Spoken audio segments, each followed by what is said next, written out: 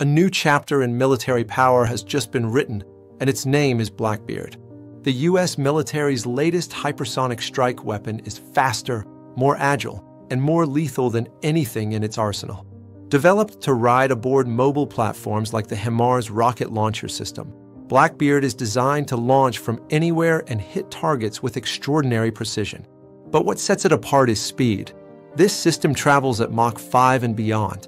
That's over 6,100 kilometers per hour. At those speeds, traditional missile defense systems can't keep up.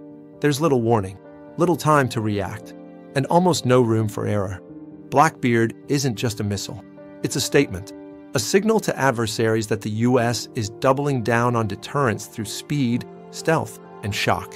It's not just about range, it's about agility. Mounted on HIMARS, it can be transported quickly across battlefields or continents, ready to strike strategic targets, whether deep underground or behind front lines. But there's more at stake here than just firepower.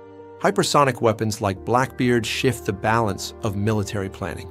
They reduce decision making windows. They force rivals to rethink their defenses.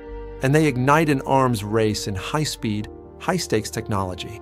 America isn't alone in this race. China and Russia are pursuing similar weapons. But with Blackbeard moving into position, the US has shown it's ready to lead.